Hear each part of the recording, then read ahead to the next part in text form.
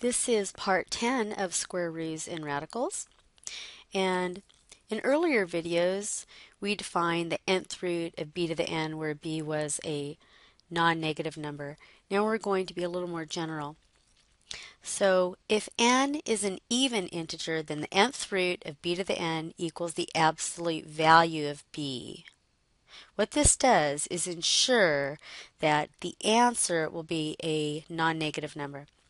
If n is an odd integer, the nth root of b to the n is b. All right, so let's do an example. If you wanted to know what the cube root of b cubed was equal to, it would simply be b. It's sort of like the cube root undoes something cubed, and so you just get the value of b. And the reason we don't have absolute value signs on it is because the index 3 here, and the exponent 3, is an odd integer. So it's okay to have a negative answer. All right, we'll do that with a particular number in a minute. And now how about if we did the fourth root of m to the fourth? Well, to make sure that the answer is non-negative, instead of it just being m, I have to use absolute value signs. Now, often in textbooks, it'll say, oh, let's just assume all the variables are positive, and that way you don't have to put the absolute value signs on it. So let's look at an example with numbers. If I have the cube root of negative 8. Notice this is the first time I've put a negative num uh, number under the cube root sign. So the cube root of negative 8 would mean what number cubed is negative 8? Right, so see if you could figure that out. And hopefully, well, you know 2 cubed is 8, and actually negative 2 cubed is negative 8. So the answer to this is negative 2. All right, what if we wanted to have the fourth root of 16? Okay, so now we put in a particular number the fourth root is 16, you'd have to think, well, what number to the fourth power is 16? And by the way, that happens to be 2, because 2 times 2 times 2 times 2 equals 16. So you may say, well, you know, what's this thing about putting the absolute value sign? All right, so let's say instead of you getting the problem fourth root of 16, it'd look like this. The fourth root of negative 2 to the fourth power. Now it sort of looks like the fourth root of something to the fourth power. But the base here, notice, is a negative number. So if you just wrote that, if you thought of this as the fourth root of b to the fourth and just wrote b, you would just be writing negative 2. But that, of course, can't be true, right? Because the fourth root of something can't be a negative number. So instead, if I had written the absolute value of negative 2, then it all works out. Okay? And of course, you could have simplified inside parentheses, I mean, underneath the radical sign first, and then of course you would have written 16, and the fourth root of 16 is 2. You wouldn't need an absolute value sign if you would have already simplified the negative 2 to the fourth power as positive 16. But if you're going to write it, if there's just the base, then you've got to put the absolute value sign around it to make sure it's not going to be negative. Okay, let's look at that cube root of negative 8 again. If you're taking the third root, the fifth root, the seventh root, if there's any odd number in here and there's a negative sign underneath, you can actually just pull the minus sign out and think of that as minus the cube root of 8 if that makes it easier for you.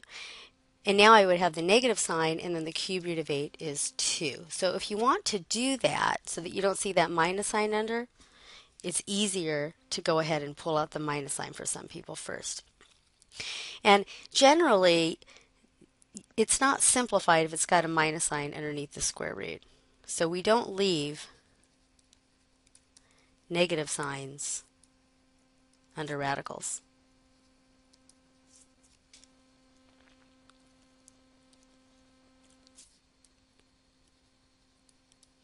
All right, another thing to remember is what would you do if you had the square root of negative 16, we cannot pull the negative sign out. When you have a negative number under a square root or a fourth root or a sixth root, any even index in here, it's not a real number. So be careful. It's only if it's an odd power that you can do that. All right. So what if I had the fourth root of negative 81? Again, you can't have the fourth root of a negative number. It's not a real number. So this also is not a real number. All right, how about the cube root of negative 125? How can we deal with that one? Well, you could think of what number to the third power is negative 125, or if you want, you can pull out the minus sign first. So this is up to you. So you know the answer is going to be negative, and cube root of 125 is 5, because 5 cubed is negative 125. Now, to make it easy so we don't have to use absolute value signs when we're working with variables, we're going to assume for the rest of the problems on the, this video that the variables represent positive numbers. So now we're going to simplify some problems that maybe aren't perfect squares or perfect cubes underneath the um, radical sign. So let's say we've got the cube root of negative 250 x to the sixth, y to the 10th. Okay, so now we've got cube root. We've got to see if we could do anything, find some perfect cubes under here. Now, since it's a cube root and with a minus sign, you could just pull that minus sign right out to the front to begin with. Usually that's easier. And let's see, that means we want to write 250 is a perfect cube times something. So we could do 125 times 2. Hopefully you recognize that 125 is the perfect cube. That's a factor of 250. All right, now what about the cube root of x to the sixth? Remember, it's a perfect cubed if the exponent on the variable is a multiple of 3. In other words, 3 goes into 6. So this already is a perfect cube. And then for y to the 10th, I have to finagle that a little bit because 3 doesn't go into 10, but it goes into 9. So I could write this as y to the 9th times y. And now we can go ahead and pull out our perfect cubes. So if I pull these out, I can pull a 5 out. For x to the 6, the cube root of that is x squared. Remember the easy way? You could just divide 3 into 6. That gives you your new exponent.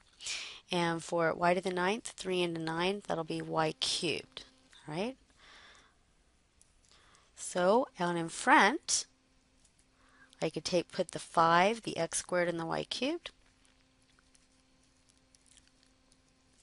And underneath, I've got left the 2y. And that's the answer. So the only thing we really did differently in this video is, you know, uh, do some problems where we ha might have some minus signs under the cube root, etc. And also realize that if you were doing, um, if you did not assume that the variables were positive, you'd have to deal with absolute value. Let's just do one problem like that. All right, let's do this problem. We're going to assume variables can be either positive or negative. So we have to be careful. Here's a square root. So first of all, I have to look inside the radical and see if there are perfect square factors. So in 45, 9 times 5, 9 is the perfect square. For x squared times x, that will give you my x cubed. And to get y to the ninth, I want to write that as y to the eighth times y. All right, so here's the tricky part. You could take square root of 9 is going to be 3. The square root of x squared is going to be the absolute value of x, not just x. That's the difference. All right, what about y to the 8th? Well, it's y to the 4th, and you can put an absolute value around that, but y to the 4th is going to be positive anyway. So when all is said and done, you have a 3 absolute value of x, And you could just put times y to the fourth because you know that will be positive, or you could leave the absolute value signs around. And inside, I've got, so I forgot to circle that. I've got inside 5xy. Okay, so those were just the tricky cases in this video.